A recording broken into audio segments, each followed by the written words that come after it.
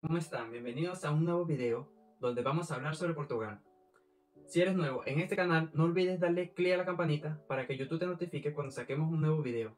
Ahora, vamos a hablar sobre cosas que no debes hacer al llegar a Oporto.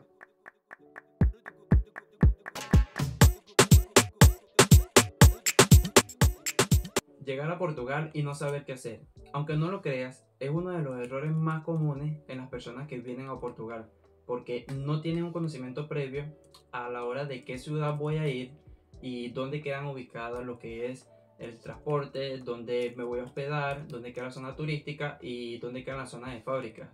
Y muchas personas por no tener ese conocimiento previo andan pasando trabajo porque no saben dónde que van a llegar. Otra cosa que no debes hacer al momento de llegar a Oporto es pagar boletos individuales en autocarro. Esos boletos te salen un poco más caros que un boleto de anda. Los boletos de ANDA son estos. Estas tarjetas de ANDA son recargables. Estas tarjetas las puedes recargar dependiendo de la zona donde te vayas a dirigir. Y tienes que estar pendiente siempre de la zona a donde vas. También está la otra tarjeta que es para los convoyos. Y te sale un poco más económico que pagar boletos individuales. Otro error común al momento de utilizar los autocarros o convoyos es de no validar las tarjetas. Al no validar las tarjetas, tienes que estar pendiente porque dependiendo de la zona que vayas a ir, tienen un monto diferente de valor. Y siempre en el transcurso del camino hay personas de seguridad que se montan a inspeccionar si pagaste o no pagaste para validar tu tarjeta.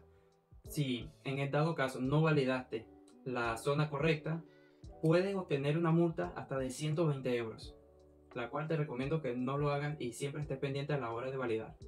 No pagues taxi en el aeropuerto de Oporto dentro del aeropuerto hay una estación de metro que te puede llevar hacia el centro de Oporto en tan poco tiempo y un precio mucho más barato que el taxi. Otro error que no debes de cometer es de ir a comer muy tarde. Aquí en Oporto es muy común de que los restaurantes cierren a las 2 de la tarde y reabran sus actividades luego de las 6 de la tarde. Te recomiendo no te dejes sorprender con la hora. Si tu fin es venir a vivir a Oporto, no cometas el mismo error que cometen muchas personas de pagar por todos los trámites. Tú mismo puedes hacer la mayoría de los trámites, solo paga el que sientas necesario. Otro error común es que pienses que la mayoría de las personas no te van a entender. El idioma aquí no es un impedimento. En Oporto muchas personas entienden el español y te pueden ayudar con cualquier duda que tengas. Si te sirvió esta información, déjamelo saber en los comentarios. Hasta un próximo video sobre Oporto Portugal.